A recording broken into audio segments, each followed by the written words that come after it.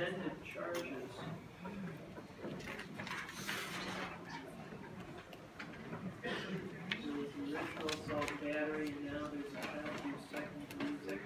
Actually, Your Honor, there's uh, an existing assault battery for Sarah Phillips that was amended only because there was a misspelling of her last name on that complaint. The other charge for her was a child abuse fourth that's been amended to a child abuse second. Ms. T has, the only amendment made to Ms. T's file is the child abuse fourth is now a child abuse second, as in both cases, further information has come to the prosecution's attention since the charging original of this, uh, the original charges of this offense that um, allows for the amendment to the felony charges. Is that correct understanding, Mr. Gaylor? It it is, Your Honor, but I like the record to reflect the fact that for both of my clients, I've, I've indicated to them, I've indicated right from the beginning, that if what they were charged with, they did not plead uh, guilty as charged, uh, that there was a potential that this would be amended and turned into a felony. I explained both of that, and they, they knew that. The one primary concern that they wanted, they said, well, can you give us a guarantee of no jail time? I said, I can't do that. I said, the prosecutor doesn't have that ability. I don't have that ability. And the only person that has that ability is this court, this court is not going to agree to anything until they've had an opportunity to, um, review the files and do everything else involved with it. I explained all of that to them. I just want to make the record clear that, that I had done that, and they knew that. And the reason, one of the reasons right now is because they want, they want to plea agreement, I just told them that cannot be achieved here. Ms. Teed? Has Mr. Daly accurately reflected the discussions you had with him? You understand that the prosecutor makes plea agreements, but judges sentence. If it were a misdemeanor, then I would be a sentencing judge. And I will not agree to a Cobbs agreement ahead of being able to see a pre-sentence report because I wouldn't have, I don't get a police report. I don't know anything about you. I don't know anything about these events.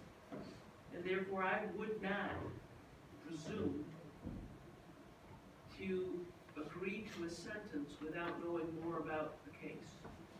That would be like you agreeing to buy a car for fifty thousand dollars without ever seeing the car. Would you do that? Well, I'm not going to either.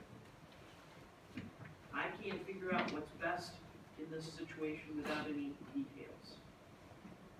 And so, um, you've rolled the dice on this one, and now you're looking at a second degree criminal sexual conduct. I mean, physical, child abuse case, second degree, ten-year felony. Ms. Phillips, you've heard Mr. Daly, and what he had to say, is that an accurate representation of the discussions with him? Do you understand the discussions that I've had with Mr. Do you have any questions, either of you, about what's been placed on the record or what I've indicated this morning? Will Andrew please not guilty?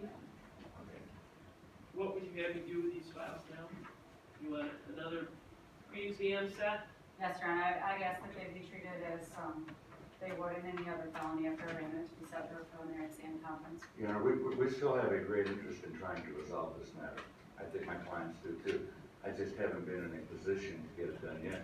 I really don't want to rush this thing. I'd like to sit down so that I can have a chance to talk to the prosecutor.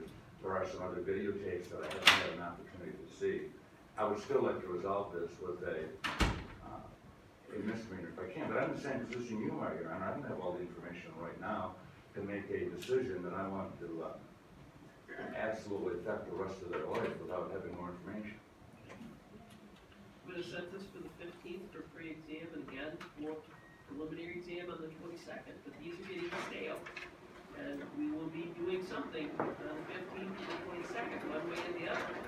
We're Either gonna have an exam or a waiver, but at, at this point, Mr. Gailey, I certainly appreciate your position.